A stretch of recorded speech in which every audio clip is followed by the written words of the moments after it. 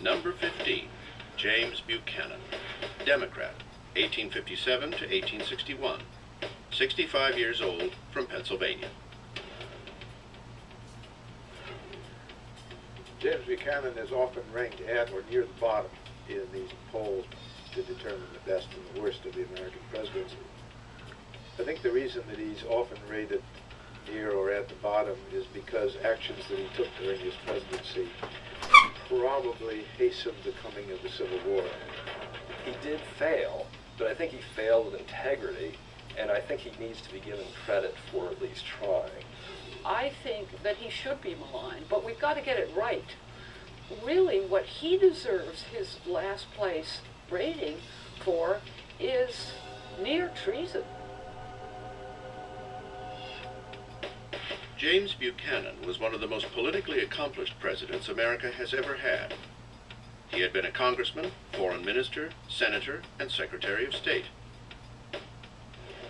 What he'd achieved in life was due to hard work and a fastidious nature. He would stay up late at night to attend to the smallest of details. Buchanan was different in another way. He never married, and is often referred to as America's only bachelor president. There are folks in the United States who say that uh, James Buchanan is our first homosexual president. The allegation arose from the intimate friendship he had shared with Franklin Pierce's vice president, William Rufus King, a man he had lived with for 16 years.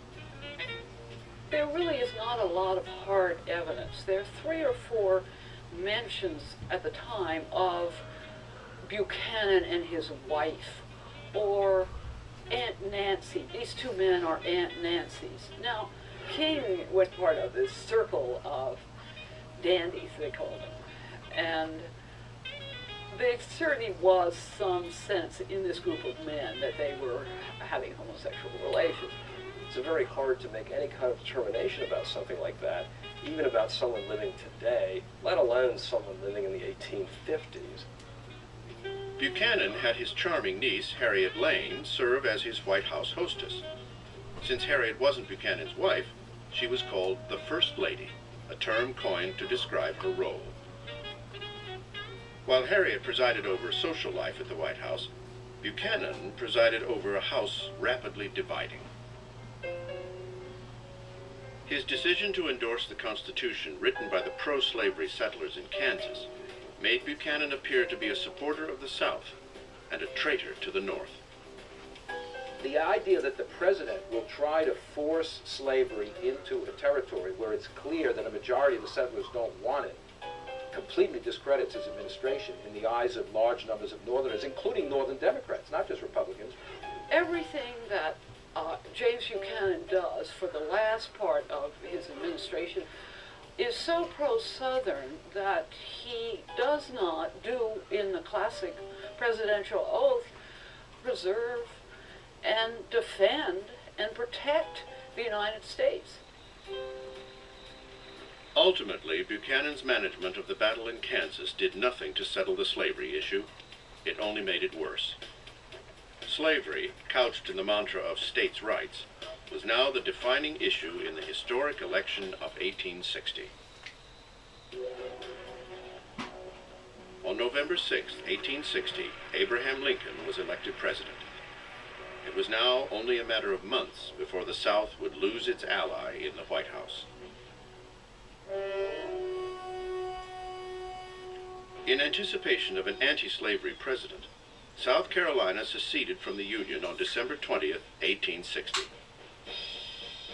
As a lame duck president, James Buchanan denied the legality of secession, but didn't do anything to stop it. Was he being weak at that moment and indecisive? Probably. Was he scared to death? Certainly. Did he have a sense that this was an incredibly dangerous moment? Definitely.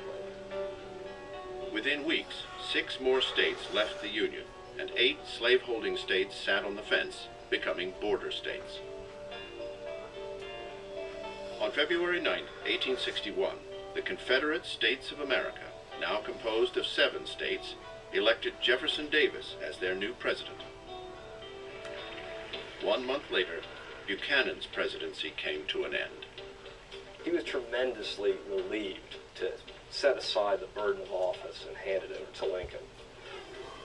On his last day, Buchanan said to Lincoln, If you are as happy to be entering the presidency as I am to be leaving it, then you are a very happy man.